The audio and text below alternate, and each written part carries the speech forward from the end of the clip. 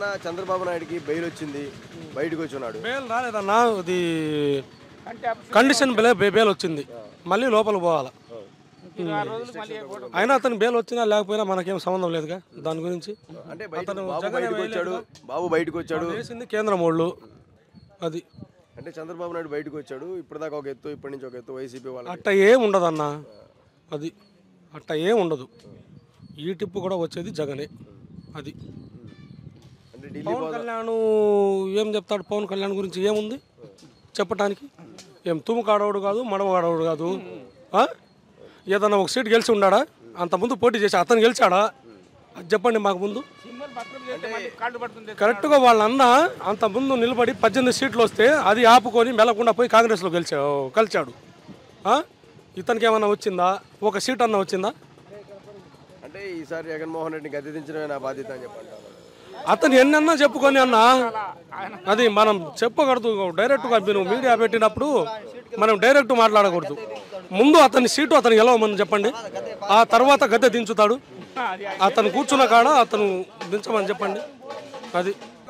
ఉమ్. జనసేన అధికారంలోకి వస్తే వైసీపీ వాళ్ళని మోకాళ్ళ మీద రోడ్డు మీద కూర్చోబెట్టి గుట్ట తీసుకొస్తాను పవన్ కళ్యాణ్. అట్ట ఎట్టన్నా? ఇది ఏమన్నా సినిమా అన్నా? ఇది ప్రజలు. ఎవరిని కొడతారు? వైసీపీ వాళ్ళని ఎట్ట కొడతారు? అది చెప్పండి మాకు. ఇప్పుడు మేము ఇక్కడ ఉండాము వీడి మీద మా బామ్మర్ది వీడు నా కోపం ఉంది. పట్టుకొని ఇంత కొడితే ఊరుకుంటాడా? ఆఫ్టర్ ఈడే ఊరుకోడు. ఎట్ట తీసుకొచ్చి కొడతాడు? కడపే. అంటే కొడాలి నాని కావచ్చు పేరు నాని కావచ్చు వీళ్ళంతా కూడా పవన్ కళ్యాణ్ పదే పదే కామెంట్ చేస్తా ఉంటారు కదా దానికోసం. ఆయన చెప్తుంటే ఈయన చెప్పాడు. అంతే మాటకు మాట. అంత ఏం లేదు దాంట్లో అది. ఆయన ఒక మాట అంటుంటే ఈయన ఒక మాట ఇప్పుడు మాట మీద మాట వచ్చింది కదన్నా ఆ మాటకు మాట అన్నాడు. అంతేలే కానీ దాని ఎవరం ఏమి ఉండదు. ఇప్పుడు పవన్ కళ్యాణ్ అయితే అసలు రాలేడు రాడు కూడా.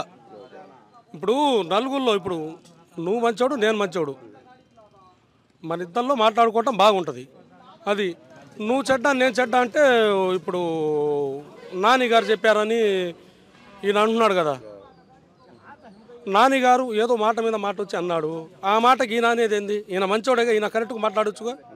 గుడ్లు ఉప్పు తీసుకొని కొట్టేదేంది?